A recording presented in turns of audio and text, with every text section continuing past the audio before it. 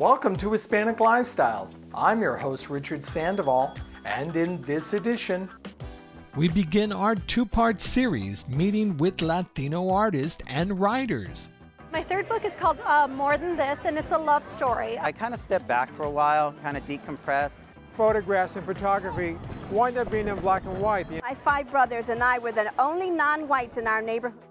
Words and images are the focus of this edition of Hispanic Lifestyle.